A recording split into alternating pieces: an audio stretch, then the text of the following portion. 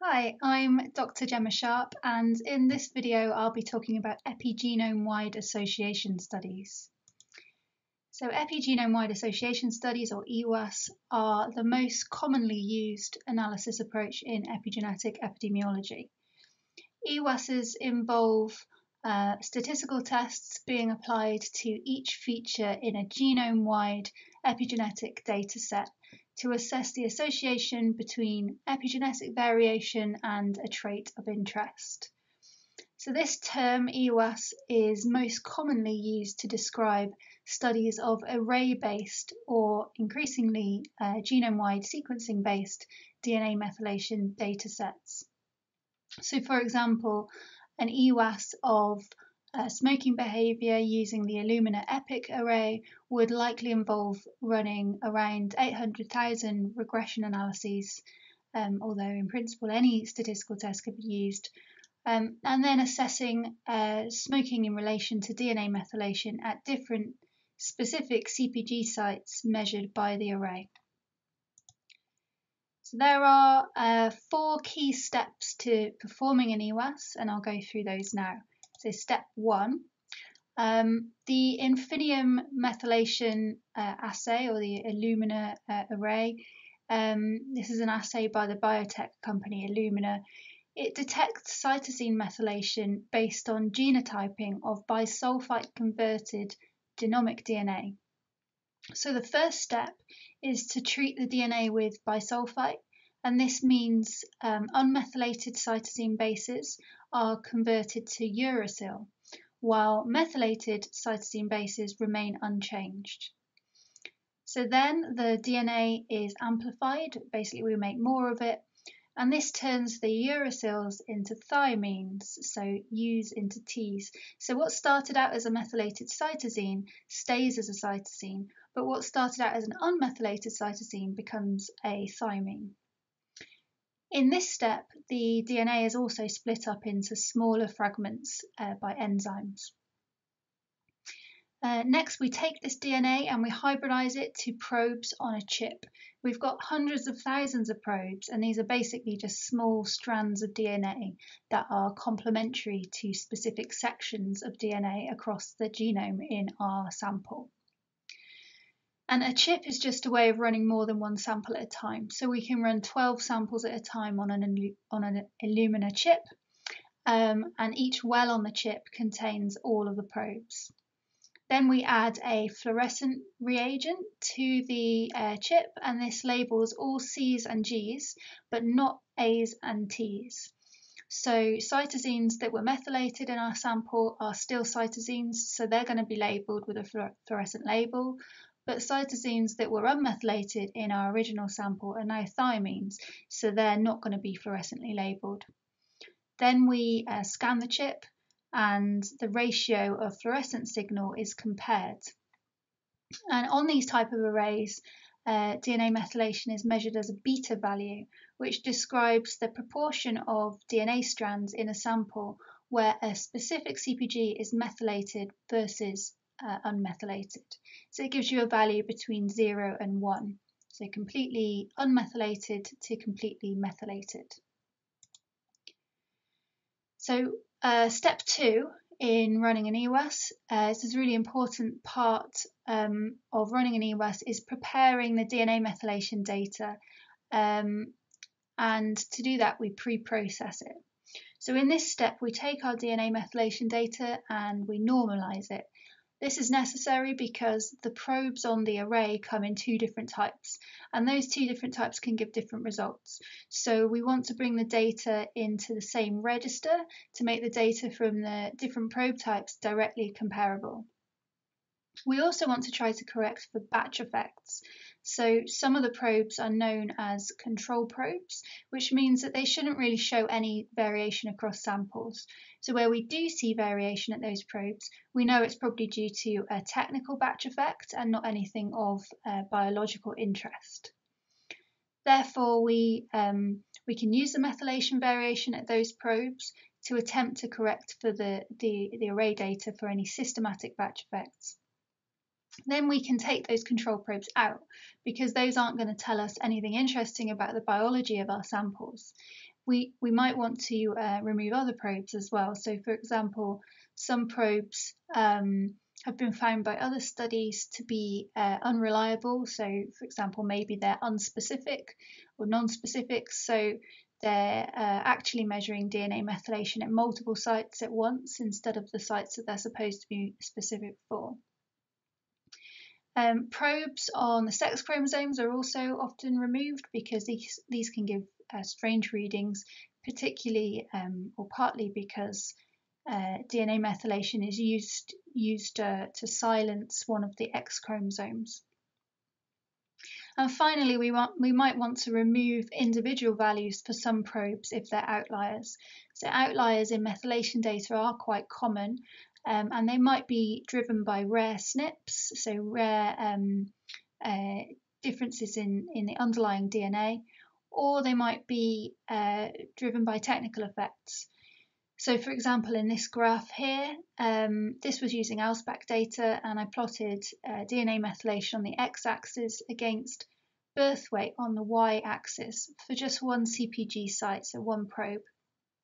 And you can see that most data points sit around uh, the very low to zero mark, but one person has a much higher methylation value of around 0.7 and um, that uh, blue line is the regression line from an analysis with that person included. And when they are identified as a uh, outlier and they and we Winsorize the data, so their value is brought down to the 99th percentile for the rest of the data, we get the green line um, and when they're completely removed, we get the red line. So you can see that the results are quite different depending on whether we choose to include the outlier or not, and the method that we use to deal with the outlier. Next, once we're happy with our DNA methylation data, we can run an association test. So this involves comparing DNA methylation beta values to a phenotype or a trait of interest, uh, usually with adjustment for other covariates. So as an example, we might run an EWAS of smoking where we uh, run a linear regression model for each CPG on the array, treating methylation as the outcome and smoking as the exposure, with adjustment for sex and age of the participant. Um, other things that we commonly adjust for in EWAS are technical batch. Uh, it's unlikely that all of our batch effects were going to be removed by that pre-processing step we did at the beginning. Um, and we also commonly adjust for the cellular makeup of our samples. So uh, we can actually estimate the cellular makeup from DNA methylation itself. So in that case, we would first use the methylation data to estimate cell proportions and then include those estimated cell proportions in our EWAS model. Um, another thing to mention is that DNA um, methylation can be the exposure or the outcome in our EWAS model, and any type of statistical analysis is possible. So, linear regression with methylation as the outcome is the most common, but logistic regression and other types of regression with binary outcomes, um, ordinal outcomes, they're all possible. Um, it depends on the study design and the hypothesis. So we usually use R to run our EWAS and there are many packages that have been written specifically for this purpose. The results of an EWAS look a bit like this. So um, these are the results for just three probes, so three CPG sites. Uh, we have the uh, CPG ID, um, we have the regression coefficient, the standard error for that coefficient, the p-value and the p-value after adjustment for multiple testing. It's really important to adjust p-values for multiple testing because we're carrying out hundreds of thousands of tests. So the Illumina 450K array includes over 450,000 probes and the Illumina EPIC array includes over 800,000. So we're conducting that many uh, statistical tests in our EWAS. A proportion of those tests are going to have uh, very low p-values just by chance alone, so that would mean we'd end up incorrectly rejecting the null hypothesis of no association. Correcting for multiple testing therefore helps us to avoid that. So there are two ways that um, are commonly used to adjust EWAS results for multiple testing. and those are the Bonferroni approach and the uh, false discovery rate or uh, FDR approach. Um, and Bonferroni is a bit more stringent than FDR. Uh, next, the regression coefficient. So this can be interpreted in the same way as it would for any other study. So in an EWAS of binary uh, yes-no smoking status with methylation as the outcome, the coefficient would be the difference in mean methylation levels in smokers compared to non-smokers. Uh, if methylation was the exposure and we'd use logistic regression to analyse smoking status as a binary outcome, we can convert the coefficient to an odds ratio and then describe it in terms of the odds of smoking versus not smoking per one unit increase in DNA methylation. Sometimes we might want to set a threshold for what we consider to be a biologically or a clinically important effect size, and this can help us narrow down results and avoid focusing on very small effects that might be biologically meaningless uh, despite having small p-values. However, in practice, this is really difficult because we still don't really know what an effect, uh, what size an effect has to be to be biologically meaningful. So, um, combined small effects over several CPGs, uh, potentially throughout the genome, could be as important, or if not even more important, than large effects at individual CPGs. So, this is uh, tricky. The next step in running an EWAS is to examine and interpret the results. Um, data visualizations can really help with this. So this is an example of a Manhattan plot, which is called that because it's supposed to look like skyscrapers on a Manhattan skyline. Um, we have minus log 10 p-values for the EWAS results on the y-axis and location on the genome on the x-axis, and each CPG is re represented by a point on the plot. CPGs with uh, small p-values therefore rise to the top, sticking out at the top of the skyline. Um, and we can draw these lines on here to indicate where the different p-value thresholds lie. Another way to visualise EWAS results is using a volcano plot. Um, again, these show minus log 10 p-values on the y-axis, but the x-axis shows regret the regression coefficient, so i.e. the effect estimate. So this plot allows us to visualize p-values and effect estimates simultaneously. Again, the points are CPGs uh, or probes um, and CPGs with large estimates in either direction and small p-values are likely to be of most interest and are highlighted here on this plot.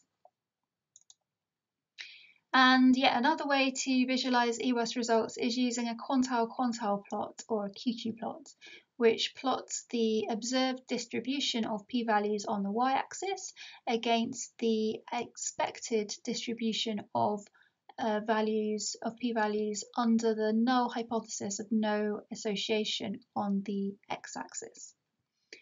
Uh, and deviations of CPG sites from the line suggest either true associations or spurious associations due to other factors um, the inflation value, uh, the inflation value is called lambda, and this gives an estimate of systematic bias that might need to be corrected for, um, and a value of one would indicate no inflation.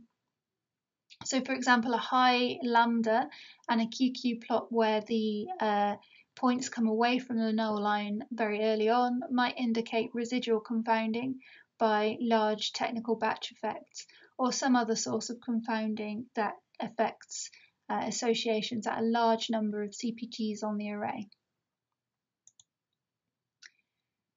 The next, uh, the other thing we might want to do is we might be interested in looking at the genes near our top CPGs that we've identified in our EWAS and trying to decipher the biological pathway linking DNA methylation to our trait of interest.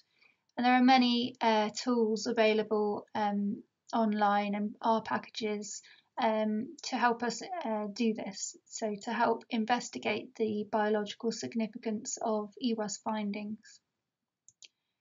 And then finally, we might also be interested to know whether any of the CPGs that we've identified have been associated with any other traits by previous studies.